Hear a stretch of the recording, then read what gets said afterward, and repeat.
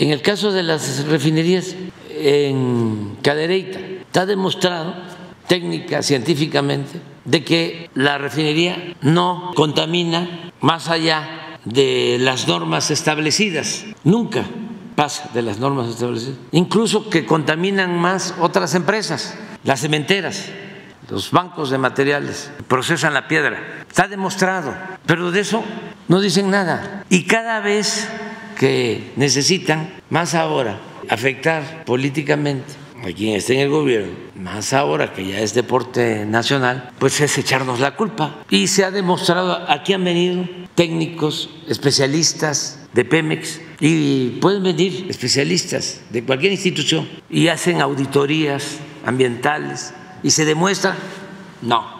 Pero es también la temporada ¿no? de calor